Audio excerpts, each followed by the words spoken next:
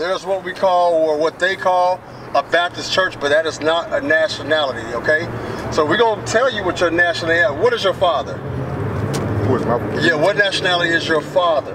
Uh, he's Jewish, right? Your father's a Jewish? Oh, you're talking about my dad, my real? Yes, your real Oh, father. he- I, I never seen that man go to church. Okay, okay, but My- what my- nationality is he? Christian. He's black. He's black. Okay, okay, that's what I want to hear. So, when you read the Bible, there's no there's there's no uh, uh, description where the Most High called our people black. We are the twelve tribes of Israel. So most likely, you probably come from the tribe of Judah. Right. The Jews are black, not the Jewish. All right. Give me that in Jeremiah real quick, because that's one of the misconceptions that uh, our people have as well. We call ourselves black. We call ourselves African American. None of those words are in the Bible. Okay. Okay. So, read that. This is the book of Jeremiah, chapter 14 and verse 2. Uh huh. Judah mourneth, and the gates thereof languish. Uh huh. They are black unto the ground. So the Bible says the Jews are black people. So, you been you watch the news? Yes. Yes. So what's going on in the news right now over in the land of Israel? Are they at war with um with Gaza? with Palestine? Gaza. So what color are the people that are over there occupying Israel right now? They white. They Jewish. white. Read that one more time. Judah mourneth, and the gates thereof languish. They are black unto the ground. But yet the Bible says they are black unto the ground. Read. Black unto the ground. And the cry of Jerusalem is gone up. No. All right. So now you know right now, according to the Bible, that the real Jews are black people. Yes. Black people. So if you look to this sign over here on the left, where do you identify yourself at over here, brother? They are Judah. So the tribe of black. Judah. Okay. All right. So we just read the scripture in Jeremiah. and It said that the Jews were what again? Black. They were black. That's right. So let me ask you this. Who is the greatest nation of people on this planet? The U.S. The blacks. The blacks. Yeah. So is it ironic that the greatest people on the planet, where do we sit? Do we sit on high or do we sit at the bottom? At the bottom. Why? We've been suppressed. We've been oppressed, okay. Do you know and do you have any idea why? To be honest with you, Uh-huh. like I'm starting, I'm just starting to get into this because I seen um, that picture, and the president of Russia had a picture just like that, Uh-huh. the original royal family, Right. and it was black. And he was black. And You're probably talking about the book called The Russian Icons, all right? Yeah, Because you know why? You know why that is? Because guess what? For over a thousand years, we ruled. so Black people ruled. They were called the Moors at that time, but See, but I, I know about the Moors. Right. So how did how did it go from a whole nother country displaying a black man Mm-hmm. and a black royal family to this this white to man? him being white. Yeah. Okay, we're gonna read that. Go ahead and give me that uh, Deuteronomy 5, uh, uh, 28. Because guess what? There's a certain certain things had to happen for all this stuff to take place. Us losing our nationality, us losing our customs, our heritage. Certain things had to take place. We don't we don't sit at the bottom just because we're black. That's not why. That's a misconception in the earth that that we're black. First Maccabees three. Go to, okay, go to First Maccabees 3. We'll answer your question right off the bat. First Maccabees 3 and 48, I believe it is. Because guess what? Because of our sins, because we don't keep the commandments, certain things happen. Go ahead and read that. This is the book of First Maccabees, chapter 3 and verse 48. Uh-huh. And laid open the book of the law. So start right there. So there was a certain people that laid open the book of the law. And what did they do? Wherein the heathen had sought to paint the likeness of their images. So the heathen, or the so-called white man, started to do what again? Sought to paint the likeness of their images. So they started to, they went into our books and they started doing what we call iconoclasm. Meaning they opened up our history books and they started painting, uh, they started whitewashing all the images, right? Yeah. So in the 1400s, which is called the Renaissance era, that's what began to happen. But here again, that only took place because we as a nation of people, who are God's chosen people, we don't keep the God, we don't keep the commandments of God. Now go to Deuteronomy. Go to Deuteronomy uh, 28. Because like I said, yes, we sit on the bottom.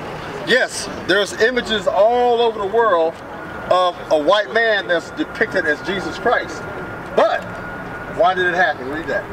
This is the book of Deuteronomy, chapter 28 and verse 15. Uh-huh. But it shall come to pass, if thou wilt not hearken unto the voice of the Lord thy God, to observe to do all his commandments Uh-huh. and his statutes, which I command thee this day, that all these curses shall come upon thee and overtake thee. So the Bible says certain curses will, will become will come up on a certain nation of people if they didn't do what? If they didn't follow the, uh, the they, they way, They didn't keep what? they word. No, say it. Read one more time. But it shall come to pass, Uh-huh. if thou wilt not hearken unto the voice of the Lord thy God, to, dis- to observe to do all his commandments, All his what? his commandments, All his commandments. Read. and his statutes, which I command thee this day, Uh-huh. that all these curses shall come upon thee and overtake thee. So stop right there. Now read verse 1 in the same chapter. Because I'm going to show you that, hey, we had a choice. We had a choice. Read verse 1. Verse 1 Uh-huh. And it shall come to pass, if thou shalt hearken diligently unto the voice of the Lord thy God, Meaning that if we would listen to the voice of the Lord our God, read, to observe and to do all his commandments, stop. What do we have to do to be on top? All his commandments. To do what? The- All the all commandments. yeah. Read. which I command thee this day, Uh-huh. that the Lord thy God will set thee on high above all nations So, of the earth. so here again, you hear people say that, hey, you know what? God loves unconditionally, right? So based on what we just read, is that true? Yeah. That's not true. He love unconditional. That's the, he does not he does not love unconditional. Because I know, remember when we read in verse 15, it said he will put what on us if we didn't keep the Curses. Curses. But I know, I in know verse one, I know you're vengeful God too. yes, yes, yes.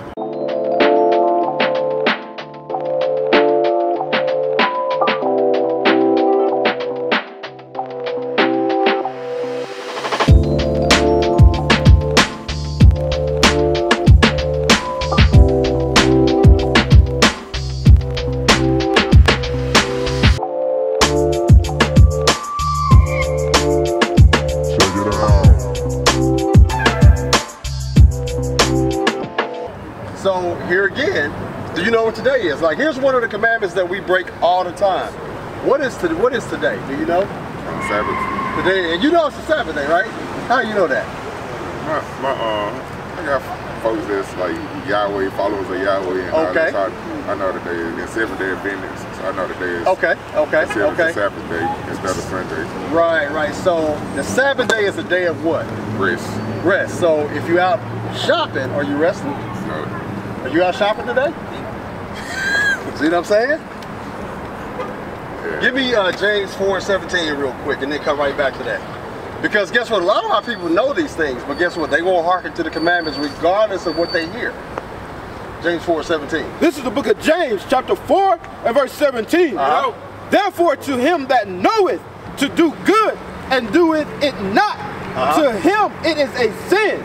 So my brother, you already know that today is the Sabbath day, and you know it's it's a good work to keep the Sabbath, right? Yes. What are the, what what things apply to the Sabbath? You know that there's no that you shouldn't rest. I mean that you should. It's a day of rest, right? Yeah. Give me that in Nehemiah. Here's some other rules that apply to the Sabbath that our people don't know. Is it, is it the same like the um like the the other Jews like no electronics and all that? Like No, it, it, no, it's not that far. We're gonna read it. Nehemiah 10:31. Nehemiah 10, 10:30. Because here are the rules that apply to the Sabbath. Hey, my brother, how y'all doing?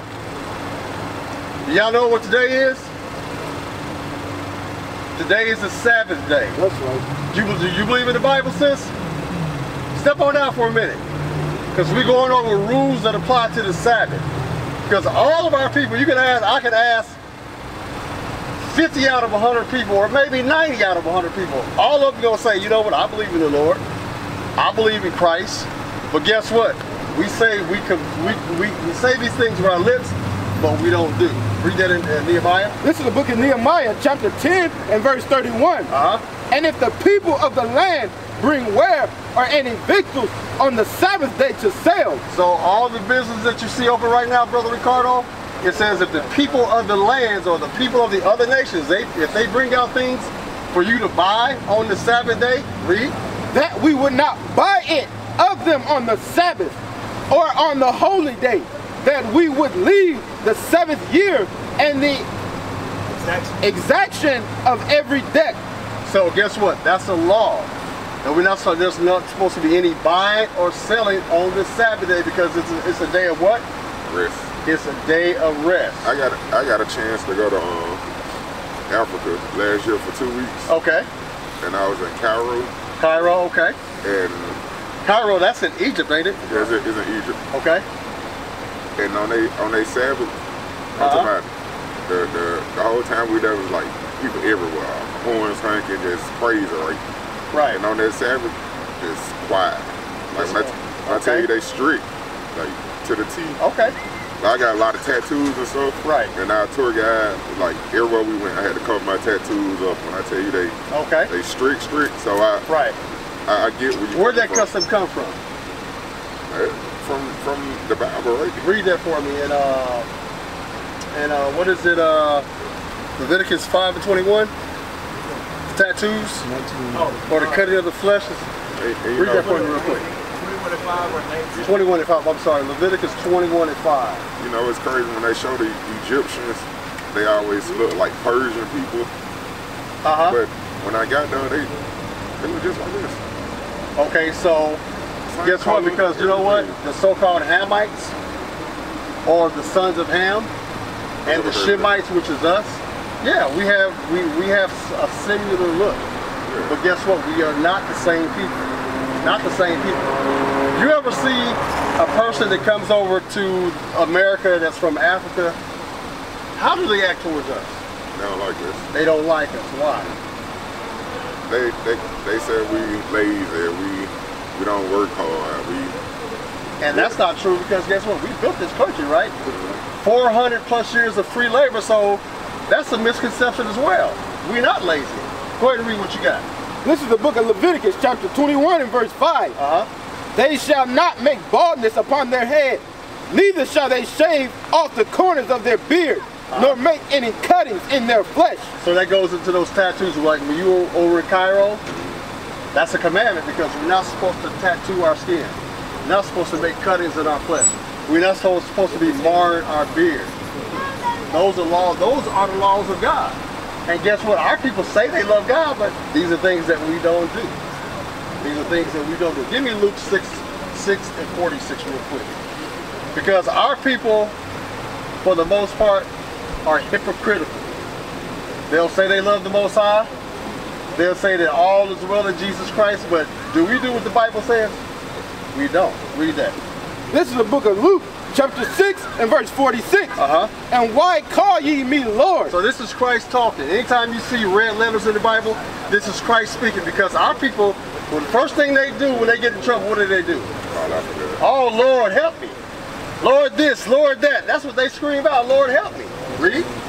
Lord, and do not the things which I say. So this is Christ's response to our people. Why are you calling me Lord, but you don't do a damn thing I say? Lord, that makes us hypocrites. Hypocrites. Give me Mark 7 and verse 6. How you Look doing, it up. brother?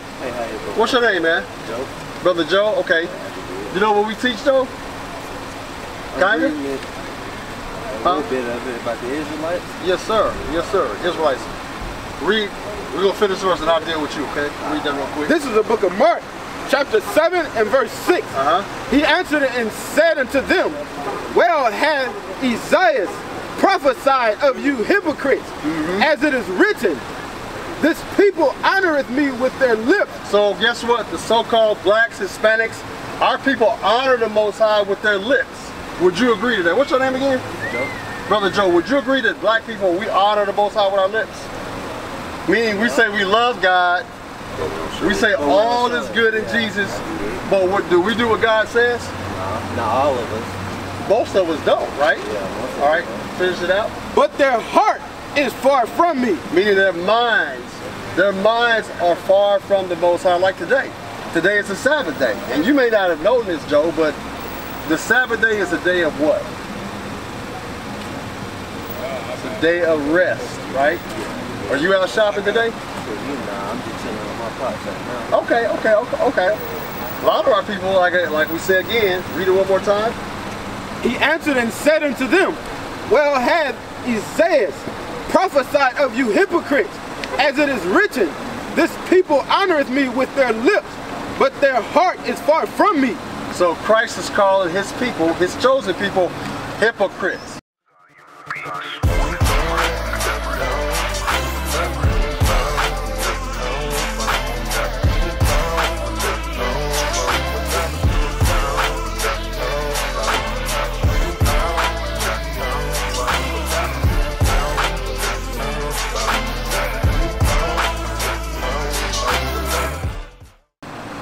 Gonna go back. We're gonna go back and do some history, all right? What is your nationality, brother Joe? I'm a black African American. Black African American. Can I find a black African American in the Bible anywhere? Depending on what Bible you read. I've never seen black African American in no Bible. In the Even in the even in the ones where they take days, scriptures out, I've never seen it. I've never seen black African American. Give me that in Exodus. Probably not the word, but you know. Okay. So, but the important thing, like I was bringing to my, my brother right here, we know that we're the greatest nation of people on this planet, right? Yeah. Why do we? So, why is the greatest nation of people on the bottom?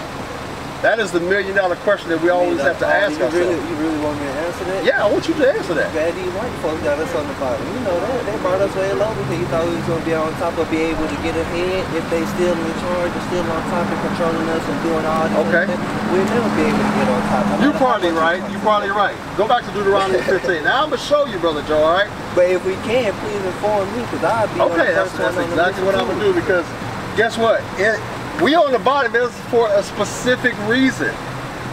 It's not just because we black. Yeah, we hate it, but certain things occurred where the Most High, He was the one that put us on the bottom. You can blame the so-called white man. Yeah, he gonna get his he gonna get his just punishment. But guess what? Certain things that we did as God's chosen people is what created our condition today. Read that. Yes. This is the book of Deuteronomy, chapter 28, Listen to this, brother Joe. and Read. verse 15. But it shall come to pass, if thou wilt not hearken unto the voice of the Lord thy God, to observe to do all his commandments Uh-huh. and his statutes, which I command thee this day, that all these curses shall come upon thee and overtake thee. So the Mo, our your forefather, our forefather Moses, he prophesied these things to happen to us later on in the latter times and later on, thousands of years after he spoke this. He said there'd be certain curses that would come on a certain nation of people if they didn't do what, Joe? That it hearken, or whatever that word If they didn't hearken, the word hearken means to listen. Yeah. Meaning that if they didn't listen to the commandments and keep the commandments, read. But it shall come to pass, if thou wilt not hearken unto the voice of the Lord thy God, Uh-huh. to observe to do all his commandments and his statutes, which I command thee this day, that all these curses shall come upon thee and overtake thee. So a question for both of y'all. Are we a cursed nation of people or are we a blessed nation of people? I think we blessed. We just had the back, the, the shit end of the stick. How are we blessed? Look, I want you to, I mean, be, We be honest. morning, didn't we? Look around. Look at look at the condition of our people. What's in our communities? You got single parent homes, you got drugs, you got prostitution, you got a- hatred, That's a personal choice. you got murder. That's a personal choice. You're right. I could get mad as hell at somebody. I'm, I'm from the streets. I get Right. mad as hell on somebody. I ain't finna just shoot the man just because, you feel me, he from a different set or I don't Right. know him, but just because the cuz stepped on my shoe, you know what I'm saying? Right. It's a personal choice at the end of the day. You know? I agree with you. It is a personal choice, but guess So what? that's why a lot of our people is down still at the bottom. you know? Okay. And the ones of us that's trying to make it and actually trying to do good, we up there. We just need everybody else to follow suit. Right, right. Read uh, 28 1. Verse 1 And it shall come to pass, if thou shalt hearken diligently unto the voice of the Lord thy God, So now, Joe, the flip side of what we just read in 15 is this. Read. to observe and to do all his commandments, Uh-huh. which I command thee this day, that the Lord thy God will set thee on high above all nations of the earth. So you got the flip side of it. If we kept the commandments as a nation, not as an individual, Joe, Yeah. as a nation because guess what? God gave us laws, statutes, and commandments on how we deal with one another. Right. So guess what? The Bible says thou shalt not kill. The Bible says thou shalt not steal. The Bible says thou shalt not you that you can't uh, have sex with a woman that's not your wife. Right. All these things that the Bible that the Lord gave his chosen people, we don't do none of these things. So as a result of that, that's why we are on the bottom of society. Because remember, it says that if we kept the commandments, we would be where?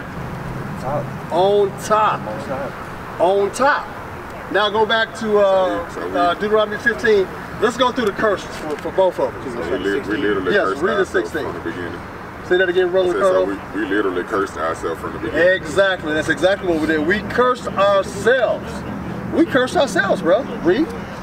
Verse 16. Uh huh. Cursed shalt thou be in the city, and cursed shalt thou be in the field. So the question is now, what time in history were we as a nation of people cursed in the field? Ricardo. Uh, back in, in, in Egypt, in Cairo. The, No, no. we talking about More- slavery? more recent. Oh, slavery? Yes. Oh, slavery. What were what were we doing out in the fields? Instead said we would be cursed in the field. What were we doing out in the fields? They brother get Jimmy? caught. We was talking, we was talking about slavery. Yes. We was trying to escape for the most part. Yeah, we were trying. Yes, some of us tried to escape, but what was going on? It says, read it one more time. Listen to the words. Listen to the words. How you doing, bro? That's my brother. Okay.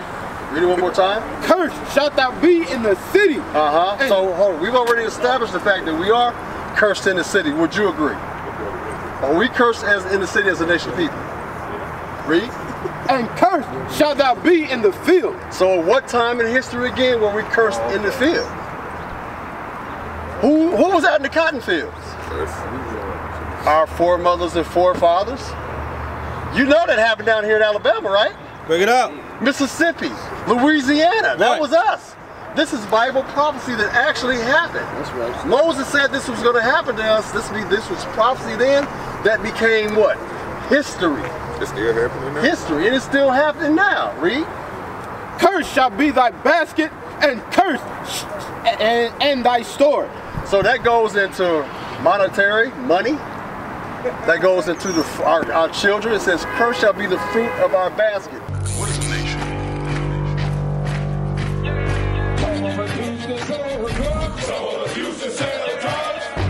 Nation is men leading by example.